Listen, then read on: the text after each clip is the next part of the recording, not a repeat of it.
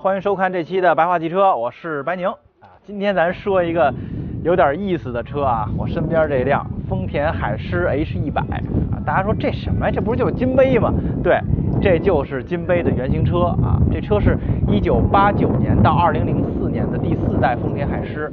那么在一九九一年的时候，华晨把它引进过来啊，叫金杯海狮。从九一年一直造到今天，而且不光是金杯，无数的中国品牌都造了这款车，使它成为了一个可以说咱们国家的一个硬通货啊，生产工具。每天无数人都在靠它的支撑，在完成物流这个需求。今天咱们就来体验一下这个金杯的原型车海狮 H 一百怎么样？咱们来聊这车的设计啊，咱们再熟悉不过的一个车型了，是吧？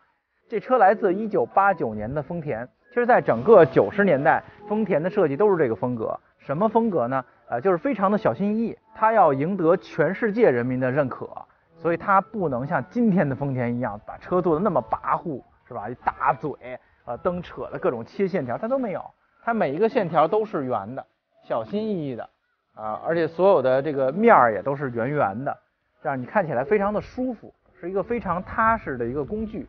当时的海狮是这样啊，当时陆地巡洋舰 LC 八零是这样，当时的卡罗拉、凯美瑞都是这种风格啊。这种风格特点就是谁看着都舒服，永远不过时。如果它做一个特别先锋的那种八十年代那种方车设计，到现在肯定已经老的不成样了。它这个设计，即使到三十一年后的今天，我们看起来依然不过时啊。咱们再仔细看这辆车啊，这车跟咱们的金杯差别还挺大的。啊，它是一个二零零四年的，就是末期的 H 一百，它的前脸已经是最末期的了。H 一百一共换过三回脸，第一回是咱们那个最老的那个金杯那样的脸啊，金杯其实九一年就引进了，是一大黑脸，是吧？全是黑塑料，小方灯。后来又变过一次脸，这是第三次的脸。这个脸呢，现在看起来就是它在追求豪华感，一个镀铬的前中网，每条都是镀铬的，然后带镀铬条的保险杠啊，下面还有点运动范儿。啊，有一点这种小包围的感觉。因为咱们这辆车呢是一个呃相对豪华的一个坐人的版本，所以说银色的车漆啊，配灰色的双色车身，还有拉花是吧？看起来还是比较细腻、比较豪华的一种感觉。这个车你看，如果我们看这个前门的话，其实当时这一代 H 一百的海狮还是挺激进的。它上一代是那种标准的尺子化的车，方方正正的。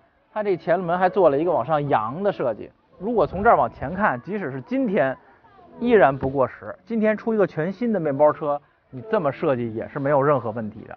咱们来看这车侧面啊，啊，这是跟金杯完全一样的了啊，但实际上这辆车还是有一点差别的。你看它的这个柱，它做了一个黑色的处理，让这窗户看起来像一块儿。侧面有 Toyota 的纹样，嗯，其实。整个侧面就是更符合我刚才说的那种风格，就是它讨好所有人，每一个线条都是圆圆的啊，每每一个棱都是小心翼翼的，而且它的比例测算的非常准，这基本上是一黄金分割，就是如果上面算大，下面小的话，啊，侧面做了一个往里缩的这么一个造型。其实仔细咂摸一下啊，这个金杯的造型还是挺有讲究的。你看它这个轮眉做的还是挺讲究的。后窗这儿是最典型的九十年代丰田设计，而且这车比想象中大。之前从来没研究过金杯的尺寸，没研研究过海狮的尺寸。这回我们仔细查了查，这车长有四九五零，接近五米，高是一九三零，这是矮顶的，就一九三零啊。然后高顶的那个就两米多高了，是吧？啊，这个尺寸比我想象中要大不少。当然里面有四排座啊。咱们来看这海狮的后尾啊。我相信所有朋友看到这后尾的时候什么感觉？哎呦，货来了！等了好几个月的家具终于来了，是吧？呃，在咱们这儿，大部分看到它的时候，下一个动作就该卸货了。嗯，其实这个后尾的设计呢，呃，跟整个车是一样的，都是九十年代的丰田设计，小心翼翼，每一个线条都是圆圆的，看起来舒舒服服的，上下的比例的控制都是非常好的啊。当然，我们看这辆海狮啊，它跟金杯其实还有点区别的。呃，作为一个相对豪华的版本，我们见到了这种贯穿式的大红尾灯，包括这写着 ABS，这还有后雨刷，还有照地镜啊。这个在我们说普锐维亚的时候说过这东西，当倒车影像使，你在里面看这个镜子离后面还有多远，是一个物理倒车影像的作用。咱来看这海狮的内饰啊，这车上车是有标准姿势的啊，一定要这么上，要不然会非常别扭。我相信广大司机朋友们都有这个体会啊。这这个内饰其实，在所有的这种平头面包车里，还算是挺有划时代意义的。为什么这么说呢？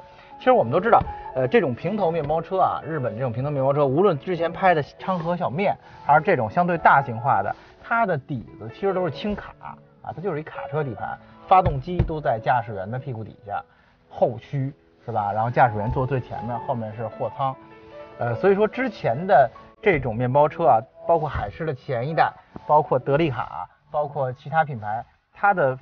仪表台都非常的平啊，仪表根本就跟小面上朝着天，然后方向盘是平的，你要端着它开，跟卡车一样。但是 H 一百这代海狮呢，把仪表台做的特别高，而且把方向盘送到了驾驶员身边儿，这样的话它的坐姿是相对轿车化啊，它这个整个仪表台跟当时的那个卡罗拉是非常像的，它很轿车化，它仪表是朝着你的，方向盘是朝后的，这样的话，呃，驾驶起来真的是要比那种端着的要舒服的多。这个我觉得还是这一代车的一个值得说的一点，然后整个的内饰设计和外观一样，非常的圆啊，每一个角都是圆的，都小心翼翼的，任何人都挑不出毛病，也找不到特色。仪表都是中规中矩啊，像速度表、转速表、油量、水温是吧？然后这儿有丰田经典的这个老式的拉棍式机械空调，一边蓝一边红，时钟啊，这有录音带收音机和 CD，哎，两个全有。这个车配置还挺高啊，电动门窗、电动后视镜啊，前后空调全都有，就是这么一个朴实无华，但是呢，看起来还是有点质感的。毕竟这是丰田原装的，它当年用的塑料啊还是比较规矩的，边边角角的处理都非常的细腻，所以今天我们看起来非常有质感。包括这方向盘也是带安全气囊的，软化的方向盘，这挡把儿非常亮的这种塑料啊，当然也开了十几万公里磨出来了。非常细腻，一种属于丰田车的朴素，但是很细腻、很诱人的质感。这个座椅也是，就是丰田经典的那种丝绒座椅，非常的有附着力啊，看着和摸着都特别舒服，就是不显豪华，是吧？这丰田海狮的原厂脚垫真是太提气了啊！你看着它，跟我当年那个凌志三五零那个材料是一样的，丰田独特的那个纹儿，写着海狮，一下就觉得嗯。这是好车，这不是金杯啊！这辆车的乘客门用了侧滑门的设计，侧滑门的设计广泛应用于这种三到四排座的 MPV 或者面包车。它的优点很明显，它可以把门的开口做到最大，同时不会让门打开之后特别大个，是吧？节省空间还能做大。但是侧滑门就考验工艺了，不同的制造水准的车，侧滑门的这感觉完全不一样。哇，这个车就特别轻，特别顺滑，你看。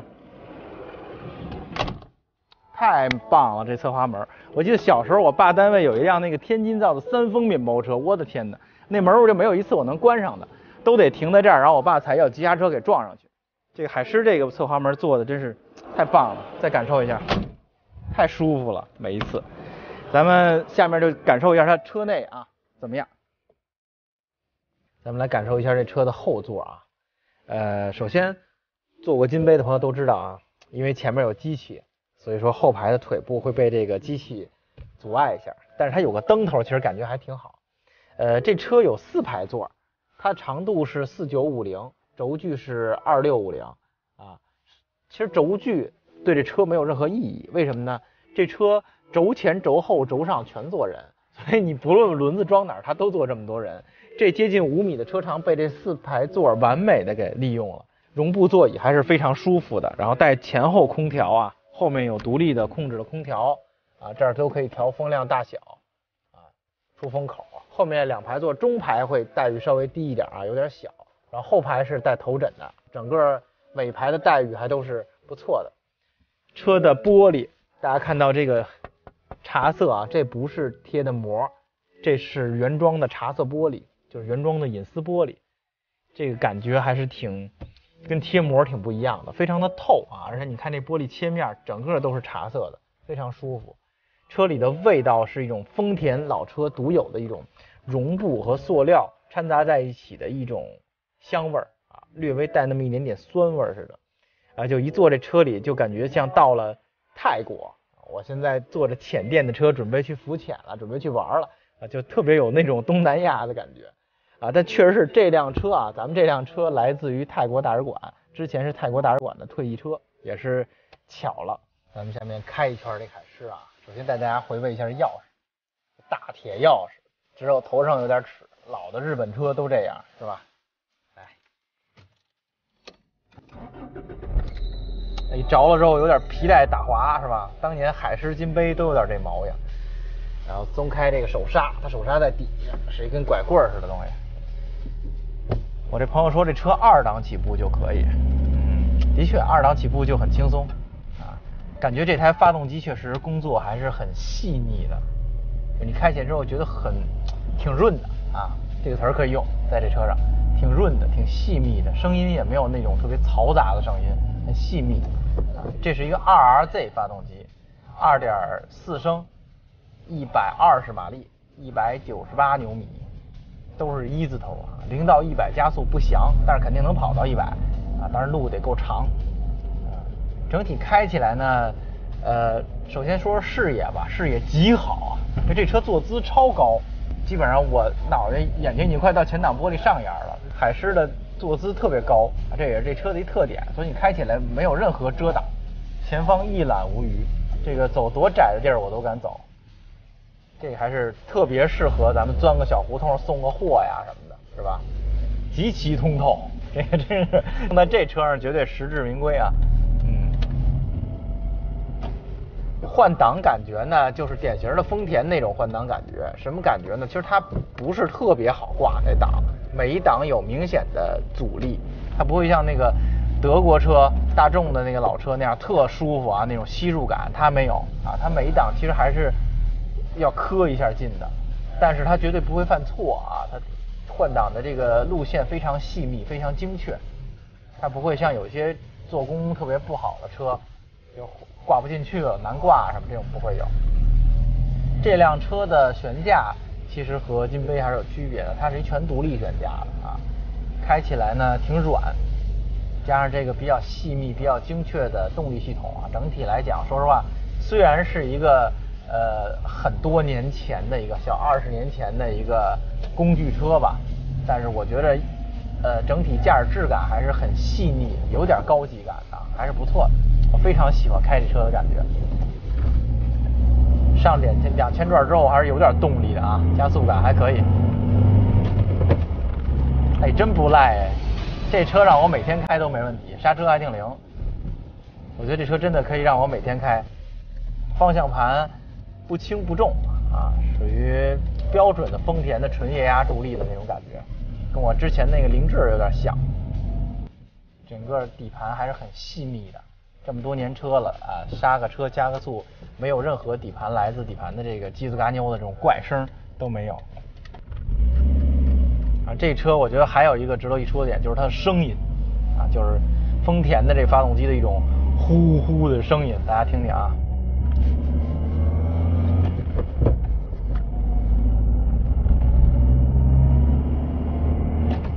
我用来形容丰田的声浪，经常管这叫金杯式声浪，大概就是这声儿。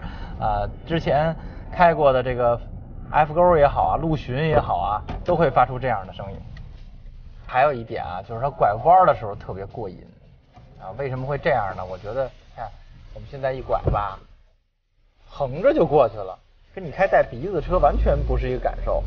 我觉得这原因是因为我的坐的位置啊，我坐在了转向轮的上面，甚至还偏前一点的位置。这样的话跟开大巴一样，我先过来，然后这轮儿才过来啊。这种特别奇妙啊，拐死弯的时候横着就过来了啊。这个如果咱们开带鼻子的车，是鼻子先过，人后过嘛，所以我特别喜欢这种感觉啊。总体来讲呢，驾驶感受朴实无华，但是真的是没有槽点啊。如果打分的话，就是每一项都七十分，这么一个车，我觉得能把车做成这样也其实是不容易的。而且你手脚的操作，呃，它都能非常好的照顾到你的感受啊。虽然它并不高级。其实我之前一直没有怎么长距离的开过金杯这车啊，今天是第一次好好的体验这个海狮 H 一百啊，没想到是这么样一种感觉啊，满大街那么多人都在开着这车，原来视野这么好，还这么好开啊！当然金杯肯定没有这么好开啊，换挡感觉呀，动力的声音啊，肯定要比这个要粗糙一些。但整体来讲，这车设计的说实话真不错，视野原来这么好，坐姿也非常不错，方向盘就送在你怀里，啊，原来是这么一个体验，有点意思。啊，其实大家发现没有，每个国家都需要一款这样的车，特别实用的且价格不贵的、空间大的车。啊，能拉货能坐人，不同的版本，比如在欧洲，它可能是大众 T 啊，对吧？它可能是奔驰的维亚诺 Vito 啊，在日本它可能是海狮，那么中国也引进了海狮，咱们也用海狮。啊，在其他国家，你看在巴西这种地儿，可能还是一大众 T 二的，就每个国家都需要一个这样的非常刚需的啊，任劳任怨的帮大伙干活的车。我觉得这些车都值得记录，都是非常伟大的汽车。虽然它们很普通啊，并没有多少车迷会喜欢它，它只是个工具，但是它们真的非常的重要。咱们停下来再给大家踩两脚啊，听听这个声儿，就是我口中经常说的金杯式声浪，就是一种谈不上有多细腻啊，然后风声很大，呼呼呼这么一种发动机声。那个 F 勾啊、陆巡啊都能踩出这声来。行，下面咱们就把它灭掉啊！这就是今天跟大家一起聊的丰田海狮 H100 啊。其实这个车本身，呃，作为一个丰田的面包车啊，它其实就是九十年代的丰田那个样。但是对我们中国人来说，对我们来说，它有着更特殊的意义。自从1991年它被金杯引进到中国以后。呃，真的是成为了我们整个国家的一个非常重要的生产物资，各种厂家啊，这个华晨金杯、福田、金龙，数不清的厂家都造了这个车，卖各种各样的价格，各种各样的用途啊，有人用它拉货，有人用它拉人啊，拍电影，干什么时候都有这个车的身影，所以我觉得这车特别值得拍上一集啊，这是我们这个时代。特别值得纪念的一款车，值得我们好好去咂摸一下它的味道，它到底是怎么样一款车？它从哪儿来？啊，从一九八九年诞生，一直到今天，不停的每天都有这款车在中国下线，在不同的车厂里，被不同的朋友买去奔生活，风雨兼程，是吧？拉着瓷砖，啊，拉着各种各样的东西去各种各样的地方，所以真的是。非常值得拍的一个车，我相信也是大家和海狮啊，其实和海狮有故事的朋友并不多啊。这车当年相当贵，呃，这个原装的海狮可能如果你零四年买个新车得四十多万啊，但是金杯的价格就要便宜的很多很多。大家和 H 一百吧，啊，和海狮的这个故事，我相信非常非常多，也希望大家能在评论中和我们一起分享自己和海狮的故事。感谢大家收看这集的白话汽车，咱们下周再见。